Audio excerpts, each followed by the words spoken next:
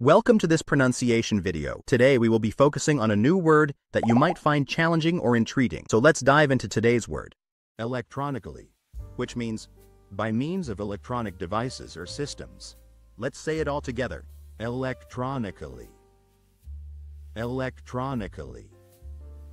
Electronically. One more time. Electronically.